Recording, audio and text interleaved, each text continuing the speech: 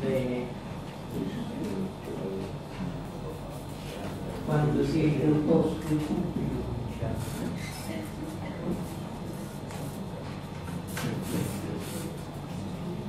Eh, quello che è importante sottolineare chi ha avuto la fortuna di nascere a Roma è l'influsso di due correnti perché essere nati a Roma è una fortuna in qualche maniera nonostante le orde barbariche che hanno invaso Roma e hanno distrutto le antiche radici in qualche maniera e reso lieto il simbolo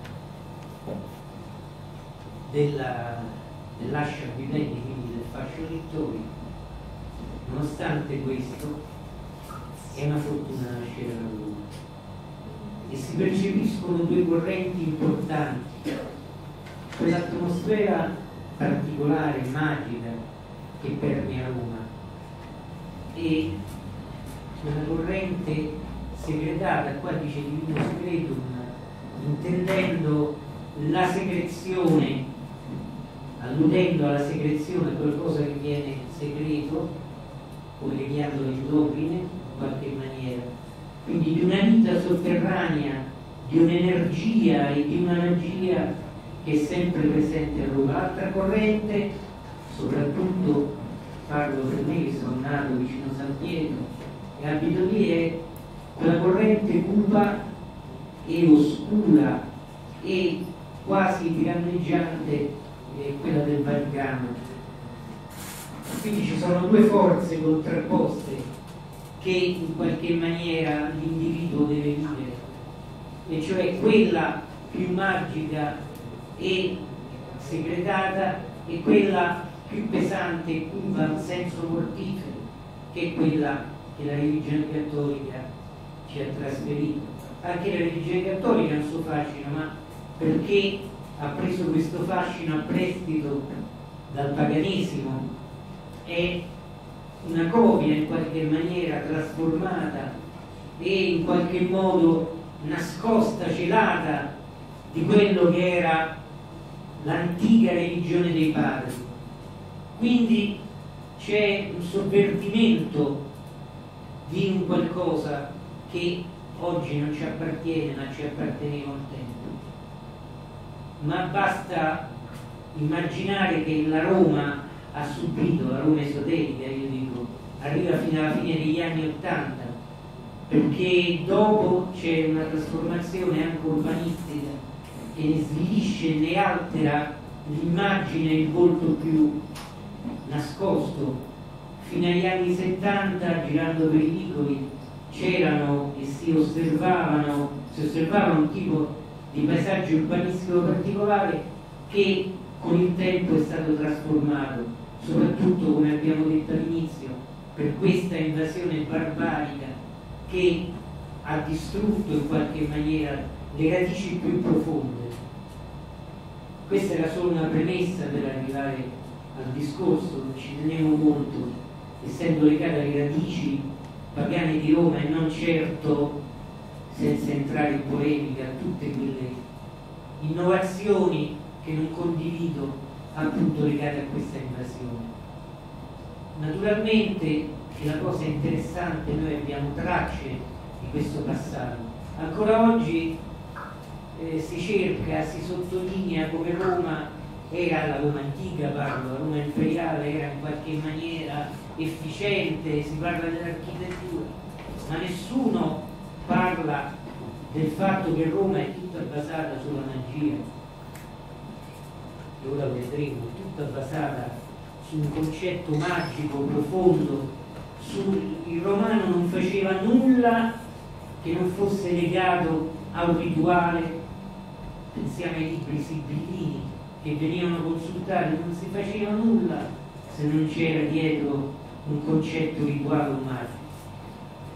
Pensiamo ad esempio andando verso Piazza Venezia, andando verso il Campidoglio troviamo tempo lì esisteva dove adesso c'è il Campidoglio, esisteva l'auraculum, che era il recinto sacro degli dei, dove gli auguri, sacerdoti romani, che utilizzavano questo bastone senza nodi, chiamato liquo, dividevano il cielo in quattro settori evocando gli dei consentes.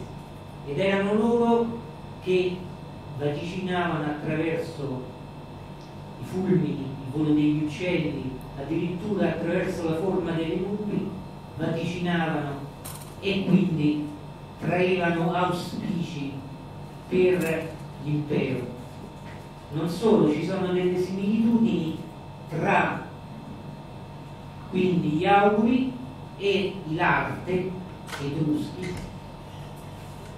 che sono un'altra, un'altra specie particolare di sacerdoti, quindi non sono i lugumoni ma l'arte, erano i sacerdoti fulguratori, erano legati e collegati alla genialità romana, ne parlo in politica romana numero 7, ho scritto un articolo su X, non ricordo adesso, mi pare numero 12, si parla appunto di questi fulguratori etruschi, il cui copricato rituale è stato rinvenuto, uno dei copricati rituali a Pulci dove è stato trovato questo cappello magico che veniva utilizzato per entrare in contatto con delle forze trascendenti e magiche.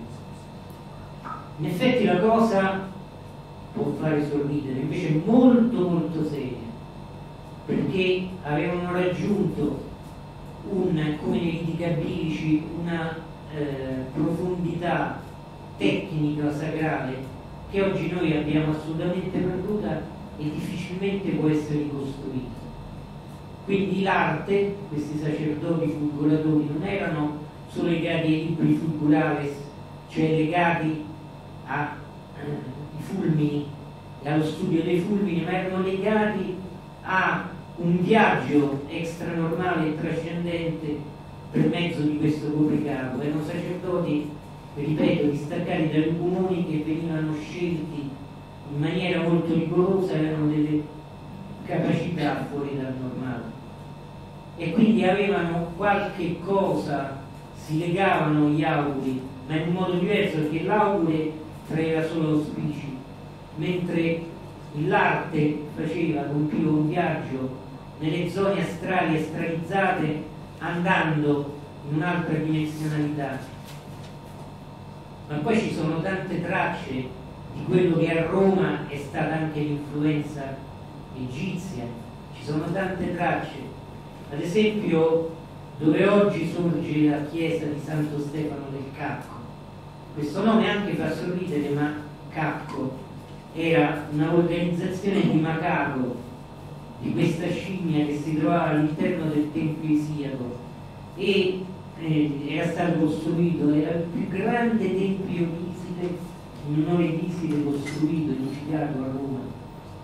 Tant'è che ancora oggi, e adesso poi approfondiremo, ancora oggi i suoi, eh, i suoi vestigia sono visibili sparsi per Roma. Questo tempio fu costruito da Antonio Levi, e Ottaviano erano due figli nel 43, 43 scusate, avanti Cristo. Gli obelischi sono sparsi, uno è a Piazza Nauna, uno vicino al Panteo, uno è nel giardino di Bobboli a Firenze, sono sparsi dappertutto. Aveva questo viale di accesso gigantesco, c'erano dei leoni che si trovavano nel tempio e che oggi ritroviamo ai lati del Campidoglio, un tempo erano usati come fontanella vicino a Castro e Polluce e erano i due leoni invece che erano all'interno del tempio di Iside. C'era una statua colossale. I resti di questa statua colossale li rinveniamo a Piazza Venezia. A Piazza Venezia dove c'è questo vicino al capolinea degli autobus a Piazzetta San Marco. Rinveniamo il busto chiamato per secoli Madama Svezia che fu usato come era stata usata la statua di Pasquino per lasciare messaggi, in realtà è il busto colossale della statua di Iside che si trova vicino al piccolo del piede, così chiamato perché veniamo un piede gigantesco, ancora oggi può andare a vedere, lo può trovare, è vicino Vicolo della Pigna, anche questa era all'interno del Tempio Isiaco. E anche l'obelisco ha una sua funzione ben precisa, non arbitraria, perché l'obelisco raccoglie i raggi solari, rappresenta il fallo fecondante che prendendo i raggi solari li porta all'interno del Tempio, che rappresenta l'utero primigenio che va fecondato, quindi una fecondazione occulta che poi avremo modo di approfondire col discorso del genio di Luna. Genio urbis, genio defensor. Quindi ha una valenza fecondante, è il fuoco che feconda, quindi è la piromagia che feconda, è l'atto creativo che si manifesta, è l'atto creativo e magico che viene alla luce. Quindi abbiamo detto e spiegato che questo tempio meraviglioso fu poi distrutto. Oggi qui si trova la chiesa appunto di Santo Stefano del Capo. Entrando dentro, quando è possibile, perché è molto difficile che si riesca a entrare, troviamo le colonne originali del Tempio di Iside, meravigliose, di alabastro nero. E probabilmente forse per chi è particolarmente sensibile si provano delle sensazioni irripetibili nel toccare queste colonne. È un viaggio indietro nel tempo, un viaggio nel tempo che ti riporta ai fasti della Roma imperiale e del culto isiaco che era diffusissimo, veramente affascinante questo viaggio che porta indietro nel tempo. Parlavamo dell'antica religione dell'Urdu che era legata al genio. Il genio, o genius come si vuol dire, rivestiva un'importanza fondamentale nell'ambito della religione magica, sottolineo romano. Genius era parte integrante dell'essere umano, oltre al genio legato alla Fondazione di Roma, di cui parleremo, il genio personale di ciascun individuo veniva festeggiato il giorno del compleanno, frontem e genium. Praticamente si toccava la fronte, colui che compiva il compleanno, sottolineando come il genio non avesse elementi e sovrapposizioni di tipo sessuale, ma di tipo puramente mentale, creativo, quindi una genesi occulta fronte al genio, veniva toccata la fronte. Prima ha detto il nostro amico che parlava prima di me, parlava dell'aiuno. L'aiuno era l'aspetto femminile del genio e veniva rappresentato all'interno della casa, all'interno dell'abitazione, sia l'aiuno che il genius venivano rappresentati come due serpenti che si intersecavano tra di loro, quindi erano unificati. Non ci dimentichiamo che Tarquinio Prisco, così vuole la leggenda, vede apparire un fallo infiammato, infuocato nel focolare, così racconta suo figlio Servio, e quindi ne riconosce, riconosce in quella apparizione l'apparizione del genio. Quindi il genio, fa, il genio fa parte della struttura mentale e abbiamo detto non ha connotazioni prettamente sessuali ma connotazioni mentali connotazioni mentali perché era la sede della concezione cogitativa quindi creativa quindi svincolata dall'aspetto sessuale è vero che tra l'altro il genio come ricorda sempre Tarquinio Prisco e anche suo figlio Servio, era in qualche modo agente nella nascita del figlio, ma non sotto l'aspetto sessuale, ma sotto l'aspetto animico. Quindi praticamente che cosa faceva? Veniva scelto un giorno particolare in cui il genio si manifestava e determinava le qualità del nascituro, sia l'aspetto maschile o femminile, sia le peculiarità animiche del soggetto. Quindi era un atto magico a tutti gli effetti. Del resto c'era ad esempio nella Dignitas Matrimoni, c'era tutto un rituale legato al genio priapico in cui la Flaminia di Alice, Flaminia di Alice, scusate, la moglie, prima di accoppiarsi con il consorte doveva praticamente accoppiarsi con il simbolo intifallico del Dio. Quindi veniva penetrata prima di questo fallo legato alla divinità, cioè un fallo fatto di pietra, praticamente o di legno. Quindi il genio è sempre presente nella vita del romano. E che cos'è il genio se non il corpo lunare che ritroviamo nell'ermetismo magico, il corpo lunare, il corpo Deus, doppia strada? Esattamente questo, è quello che Kremer si chiama uomo storico, forza geniale, e che è presente in tutta la cultura romana.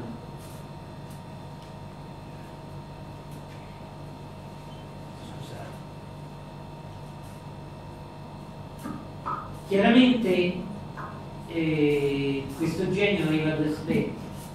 A Roma lo chiamavano il grande daimon, adesso poi vedremo. Aveva due aspetti, uno tendente al bene e uno tendente al male, quindi la parte luminosa dell'essere umano e la parte più scura. Secondo Lucio Apuleio era immortale, secondo altri invece si disfaceva e diventava un'ombra e lentamente si dissolveva. In effetti ci sono teorie di tipo ermetico, magico sul fatto che la parte più pesante del corpo lunare permane per un certo periodo dopo la morte nel tempo e poi va dissolvendosi. Ora qual è la realtà esatta non lo sappiamo. Io da quello che ho studiato a livello mio iniziatico personale è che una parte del genio permane, rimane, si trasmuta energeticamente e quindi come Lucio Apuleio presumo che sia immortale.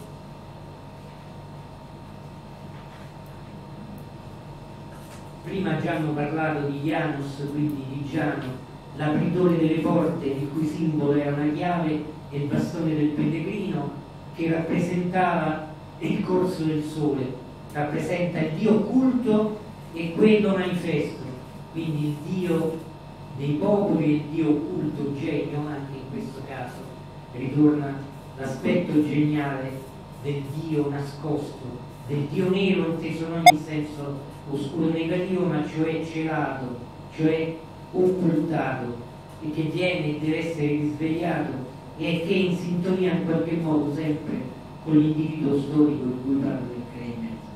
Quindi, tra l'altro Giano è legato alle porte solstiziali, e anche al futuro e al passato, questi due aspetti del volto di Giano sono legati proprio a questa concezione che guarda al futuro e guarda al passato.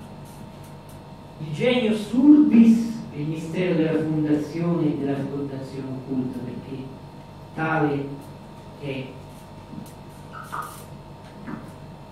Come ho detto, non ho parlato in politica romana numero 7, il titolo del Nell'articolo era il sole dietro il sipario e il volto aureo del genio defenso.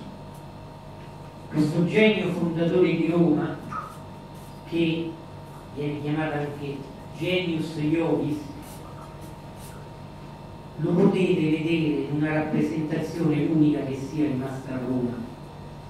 Andando nel tabularium che era chiuso nei musei capitolini e campidoglio, nel tabularium erano conservati anche i libri sibillini famosi e anche questa statua, questo genio fondatore di Roma è chiamato Vegliove, è un genio o Vegliove, è un genio chtonio che non ha la testa, ancora adesso è possibile ammirarlo, io l'ho visto qualche anno fa, è veramente affascinante, emana un'energia particolare per chi sa andare oltre e percepire in modo sensibile questo aspetto.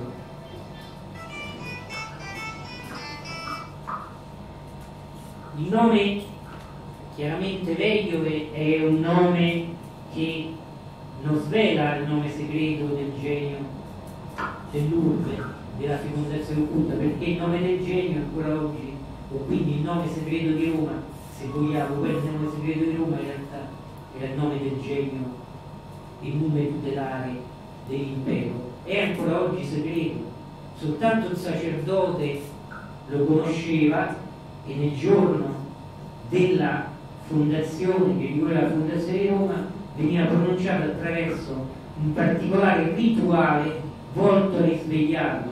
Qui si entra nel discorso dell'egregore magico che viene nutrito da una forza, una forza diciamo che potremmo definire catena magica, ma che nel contesto romano era nutrito da un solo individuo e onorato sotto un aspetto pubblico e celato ai romani, veniva adorato, veniva in qualche maniera nutrito il gregore, è una forma pensiero, come sappiamo, veniva nutrito in questa maniera inconsapevolmente dal cittadino semplice, mentre il sacerdote è colui che in sostanza guidava il rituale.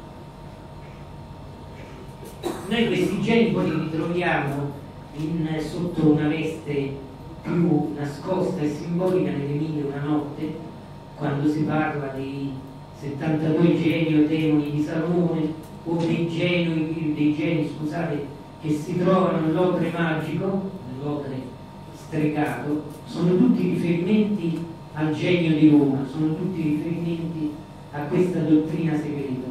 Quindi come abbiamo visto fino adesso Roma era basata fondamentalmente sulla magia, ma quando intendo quando parlo di magia intendo parlare della parola zaragoziana amata, mageia, cioè conoscenza e sapienza. Tutto era correlato. Ad esempio, pochi sanno che nel foro poario, poiché i romani si attenevano strettamente ai libri scritti quando c'è stato un momento in cui si pensava a un'entrata in guerra, furono seppelliti lì nel foro poario due coppie uomo-donna, due romani e due etruschi. Queste, eh, queste cose sono riportate comunque nelle cronache del tempo e c'era tutto un discorso magico, un tessuto magico dietro la fondazione di Roma. Nulla era lasciato al caso.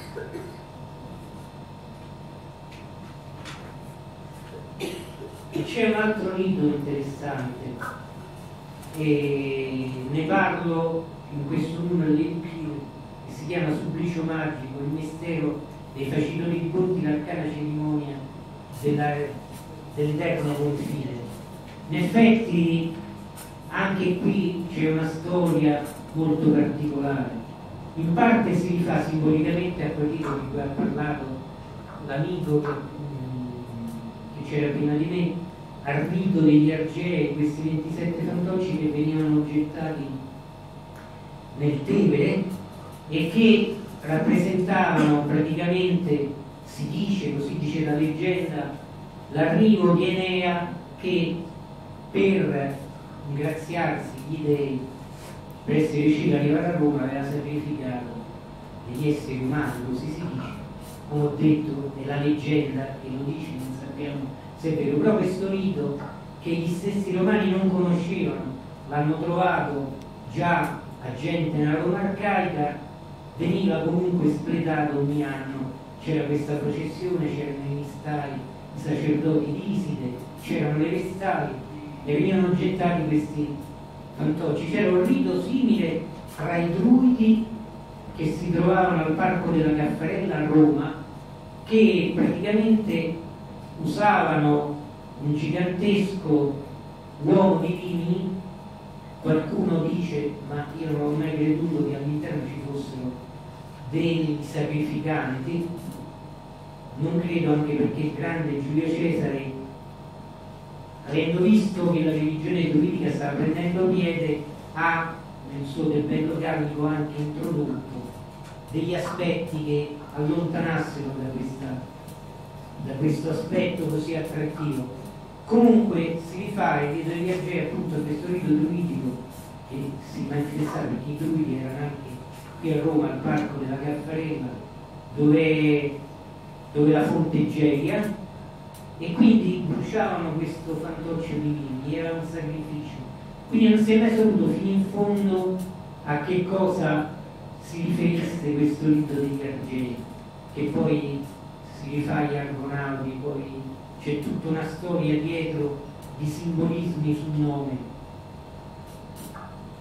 Comunque è legato in qualche modo al ponte Suplicio, in cui praticamente una casta sacerdotale che era legata sì ai pontefici, dove c'era anche il pontefice massimo, ma era legato a uno stretto gruppo di iniziati che mantenevano vivo il passaggio e di qui la correlazione con Giano, che è il signore apritore delle porte del passaggio, un passaggio che portava e conduceva i luoghi segretati, e questo è molto interessante. Comunque il Ponte Supplicio viene costruito nella Roma arcaica e praticamente serviva, per, serviva fisicamente per congiungere le due sponde del Tevere. Questo ponte è stato edificato senza utilizzare chiodi. Infatti Supplicio pare che derivi da supplica. Queste tavole di legno, suppliche, queste tavole di legno annodate da funi. Ma non era un semplice passaggio, perché dietro c'era un rito particolare, tant'è che il ponte era allineato con delle particolari costellazioni celesti, con delle particolari costellazioni stellari, con dei pianeti tra cui Orione e Sirio, come li troviamo in Egitto, Orione è legato a Osiride e Sirio è legato a Iside. Perché questa questa particolarità astronomica. A che cosa serviva? Serviva per questo rito in cui c'è chi dice servisse per un rito di immortalità. Il simbolo di questa ritualità era la spiga di grano. La spiga di grano sacra anche a Cedere, è legata anche a Osiride, è legata all'immortalità. Quindi non si sa bene qui si entra nel mistero più fitto.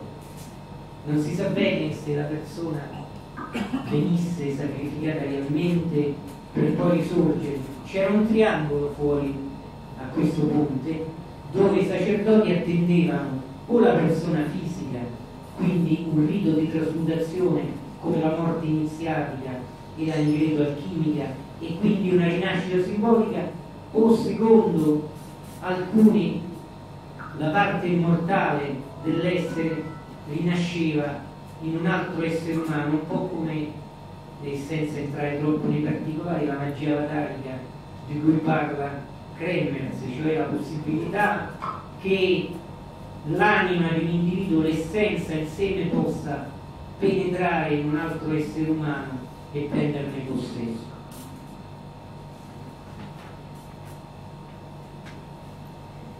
un, due degli aspetti importanti legati alla costruzione di questo ponte, due punti astronomici erano l'alfredaria, l'alfredaria è il potenziale legato al destino dell'essere umano, che ne determina il destino, e l'anareta, che invece è quel punto particolare che ne determina la morte.